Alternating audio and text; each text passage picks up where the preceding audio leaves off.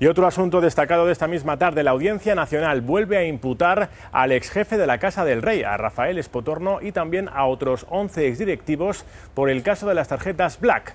Hoy se ha admitido a trámite un recurso que da marcha atrás a la decisión de suprimir la causa. Vamos hasta la Audiencia Nacional en directo, Carmen Ferrero. ¿Qué implica esa decisión?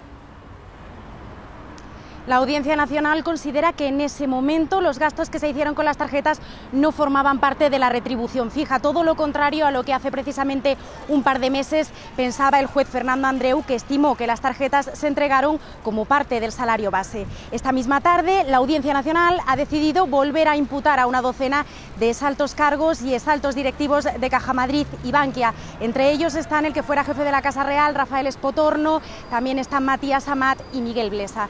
Durante nueve años, en total 82 exaltos cargos se gastaron más de 15 millones y medio de euros utilizando estas tarjetas.